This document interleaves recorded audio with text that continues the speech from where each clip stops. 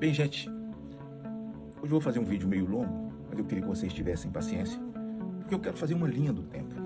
Parece que hoje, com muita tristeza, eu que sempre defendi e continuo defendendo essa instituição que eu acho tremenda, né? Importante para o Brasil, que é a Polícia Federal, e comandei grandes CPIs junto com a Polícia Federal. Mas hoje consigo imaginar que tem um departamento que foi feito para criar fumaça e um outro departamento, né? Que foi separado exatamente para Adélio Bispo, PCC e Jair Bolsonaro. É incrível, eu poderia falar uma série de coisas aqui, de cortinas de fumaças criadas, de coluio com a velha mídia, para poder acobertar as desgraças que esse desgoverno, desse descondenado, tem feito com o Brasil, da sua economia, do desrespeito às pessoas, tripudiando em cima do Rio Grande do Sul, uma série de coisas, uma série de viagens, dinheiro público gasto, dinheiro público jogado fora e o país desandou. Bom, nós estamos vivendo dentro de uma ditadura. Agora, a esperança é que se tenha um judiciário que se mantenha como juízes, né?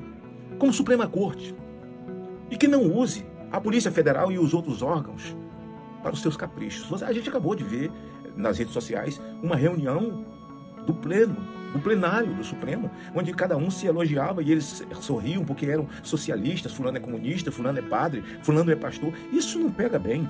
Eu podia falar de um monte de assunto, mas eu quero, assim, especificamente, porque está na moda agora que a Polícia Federal indicia Jair Bolsonaro por causa das joias. Pelo amor de Deus, a Polícia Federal não merece isso. Lula, esse descondenado, ele foi embora arrotando, gente, pelo amor de Deus, que levou 11 contêineres. De todas as coisas que ele fala, ele fala, eu levei até trono da África, que o, o governo ganhou na África, porque o presente é do governo. Ele levou 11 contêineres. E aí, Tribunal de Contas? E aí, TCU? E aí, Polícia Federal? Esse cara pode falar o que quer. E tá tudo certo. Não tem indiciamento para ele. Não tem investigação para ele.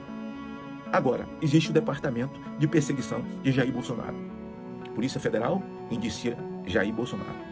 Agora eu quero fazer uma linha do tempo, porque esses jornalistas da velha mídia de plantão que estão aí sustentados para poder sustentar narrativas e mentiras, e eu espero que isso não seja verdade, antes de ser sabatinado, bater de porta em porta no Supremo, o senhor Gunner, que hoje é procurador-geral, já havia saído uma matéria na Gazeta do Povo, dizendo que Jair Bolsonaro seria indiciado. E caberia a ele, se quisesse ser procurador, denunciar Jair Bolsonaro. Pedir ao Supremo Tribunal Federal, então, que condenasse Jair Bolsonaro. Então parece um script escrito lá atrás. E eu quero ver com vocês aqui uma, uma linha do tempo, que acho que essa linha do tempo foi produzida por esse departamento que foi criado exatamente Departamento de Perseguição a Jair Bolsonaro e Família. Podia até ter, ter uma sigla. Bom, vamos lá. Vou começar. Linha do tempo. Dia 5 de julho de 2018, Adélio se inscreve no clube de tiro de São José, em Santa Catarina, onde estava previsto Carlos Bolsonaro treinar, mas não compareceu. Que, quem passou essa informação para Adélio que Carlos Bolsonaro estaria lá? Essa é a pergunta. Quem financiou Adélio para que ele estivesse lá? É a outra pergunta. E ele foi para lá para tentar, será, assassinar o Carlos Bolsonaro? Linha do tempo. No dia 6 de setembro de 2018, pela manhã, temos imagens de Adélio se aproximando de Carlos em Juiz de Fora e não alcançou Carlos porque entre dois e três minutos ali, por questão de segundos, o Carlos entrou num carro e ele acabou não sendo alcançado pelo Adélio. Linha do tempo. No dia 6 de 2018, por volta de meio-dia, Adélio esfaqueia Jair Bolsonaro, Adélio Bispo. Segundo os médicos da Santa Casa de Juiz de Fora, Jair Bolsonaro sobreviveu por milagre, além de outras ferramentas, não é, que foram usadas. Os ferimentos de Jair Bolsonaro, a faca perfurou a sua veia mesentéria, ou seja, era para morrer. Ele é fruto de um milagre. Ainda na linha do tempo, dia 6 de setembro de 2018, alguém Deixa eu ver aqui. Alguém entra na Câmara dos Deputados, se passando por Adélio, caso Adélio não fosse pego, pego o juiz de fora, preso o juiz de fora, os assassinos teriam um álibi perfeito, porque ele teria passado pela Câmara dos Deputados. Linha do tempo, dia 7 de 2018, feriado nacional. Três advogados chegam imediatamente a Juiz de Fora para atender Adélio. Um deles em um avião particular. Chamam-os de advogados samaritanos, mozinhos, que não cobram honorários. Questões humanitárias, né? São colocadas. E era para proteger Adélio, ou melhor, garantir que ele nada falasse sobre os mandantes. Mas tem coisas mais incríveis na linha do tempo. É instalado o inquérito, então, pela Polícia Federal, tendo o delegado Rodrigo, Rodrigo Moraes como encarregado. A linha do tempo. A dona da pensão onde Adélio se hospedou, em Juiz de Fora, morreu poucas semanas depois do atentado a Jair Bolsonaro. Outro hóspede da pensão também morreu. Isso nos lembra um caso acontecido em Santo André. Vocês não acham, não? Não acham? O Brasil todo sabe de toda essa questão, ainda dentro da linha do tempo. Dentro da linha do tempo. Tempos depois, o delegado Rodrigo Moraes, mesmo com todos esses indícios, ele conclui que Adélio agiu sozinho, um lobo solitário. Só que o tal lobo tinha informações privilegiadas de onde se encontravam pelo Brasil Jair Bolsonaro e seus filhos. Mesmo desempregado, Adélio também viajava e se hospedava à casa de Jair e dos seus filhos. Linha do tempo.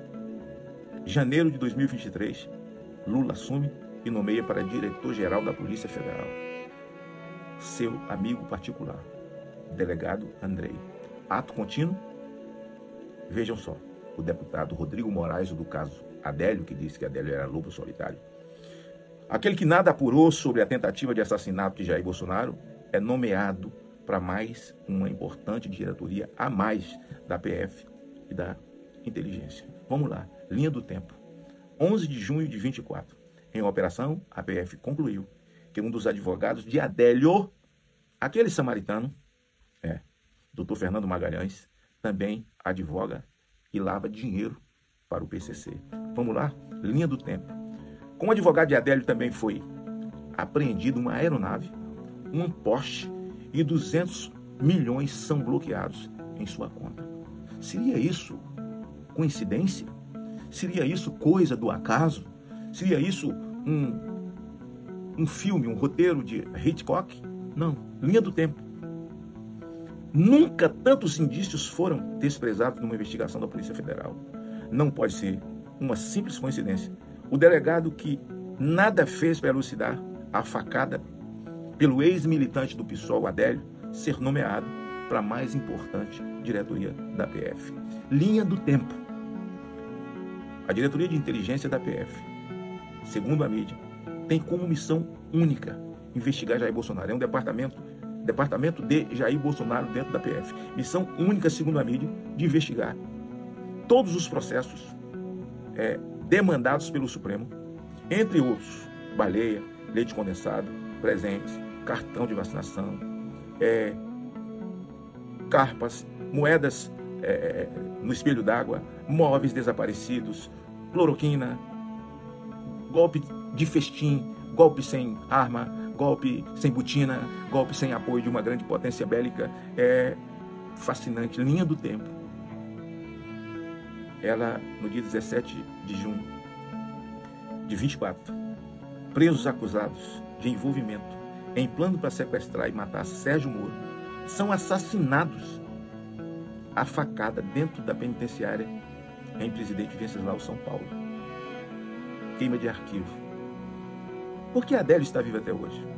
Um soldado do PCC não seria jamais, jamais abandonado, obviamente. Quem conhece, quem já ouviu falar, quem já estudou profundamente. Né? Aliás, como presidente da CPI do narcotráfico, nós denunciamos no relatório de Moroni Torga a chegada, né? o começo do PCC com o Geleão, que fundou junto com o Marcola. Adélio foi considerado portador de um transtorno delirante. Tudo o que porventura ele vier a falar não vale para a justiça.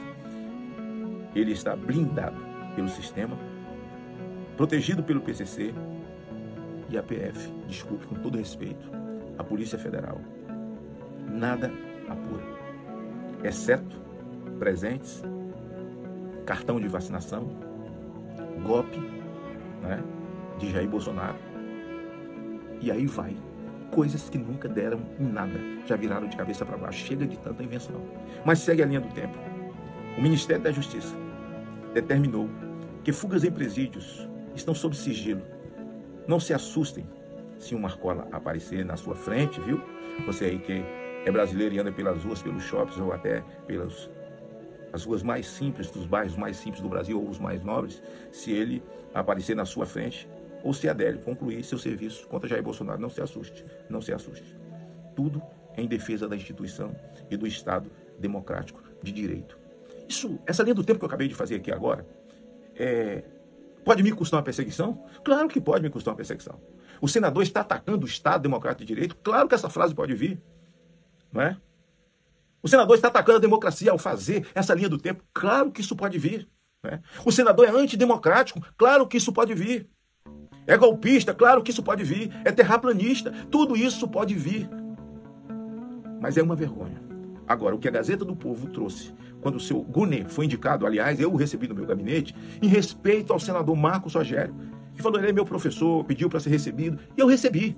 Mas a velha mídia já dizia, se ele quiser ser procurador, ele vai ter que aceitar o indiciamento da Polícia Federal a Jair Bolsonaro e vai ter que denunciá-lo ao Supremo. Vamos ver se isso vai concretizar. Eu, da minha parte, por estar licenciado, mas antes que acabe o recesso, ou que comece o recesso, eu vou pedir a minha assessoria, porque eu queria me encontrar com o senhor Gunê, que foi no meu gabinete pedir o meu voto, e todas as colocações que fez foi de respeitador e cumpridor da Constituição Federal eu li, um, vi um vídeo, uma fala de Kim do Paim, que ele dizia que Jair Bolsonaro, Jair realmente falou isso, não se preocupe comigo, eu escolhi essa missão. E normalmente quem tem missão e acredita na missão, me lembro que alguns vão achar um absurdo que eu vou falar aqui, né? As pessoas seguiam Jesus e, por saber daquilo que Jesus falava sobre si, elas choravam. Ele disse assim: Não choreis por mim, chorai antes por vós mesmos e por vossos filhos. Me lembro de Josué, quando as pessoas já estavam inquietas com tudo que vinha acontecendo e não via mais solução, não via mais saída, ele falou assim: Olha, é, escolhei hoje a quem vais, porque eu e minha família seguiremos em frente, seguiremos o Senhor. Então, quando Jair Bolsonaro diz, não se preocupe comigo, eu sei a missão que eu escolhi, nós sabemos, ele sabe a missão, e realmente, mas a missão que você escolheu é a missão da maioria absoluta de brasileiros. É só ver, Jair, onde você chega. É só ver onde Lula chega. Onde estão os eleitores de Lula? Será que você disputou com pessoas ou você disputou com robôs? Ai, que crime que esse senador está cometendo falando essa loucura. Moço, retira essa palavra. Não retiro nada. Não retiro nada. Você não está sozinho. A missão que você escolheu foi o que o Brasil escolheu para si. Ter um país de paz, onde bandido é bandido, onde o MST pare de invadir terra, ações criminosas contra pessoas simples que plantam, com aqueles que produzem, que sustentam esse país, a balança comercial e um time criminoso, uma organização criminosa, a nível de Hezbollah e Hamas, que é o MST. Bom, também de quem eles são amigos. O Brasil quer nossas crianças livres na escola, respeitadas, não erotizadas. As nossas crianças estudando matemática e português e não com professores cheios de ideologia, sabe? Ideologia de gênero, sabe? Desconstrução moral da família brasileira que tem a sua formação judaico-cristã. Então, esse povo todo que luta pela vida contra o aborto, contra o assassinato de crianças, e que está indignada com esse Supremo Tribunal Federal, que manda no país, que manda prender e manda soltar, prende inocente e solta bandido. Então, meu prezado presidente Jair Bolsonaro, como você diz, não se preocupe comigo, porque eu escolhi essa missão. Todos nós escolhemos essa missão. Eu sei que esse vídeo foi muito longo, mas eu queria que você passasse ali à frente, porque isso tudo é uma linha do tempo que eu tracei aqui para que você pudesse entender um pouco. Deus abençoe o Brasil, Deus, pátria, família e liberdade.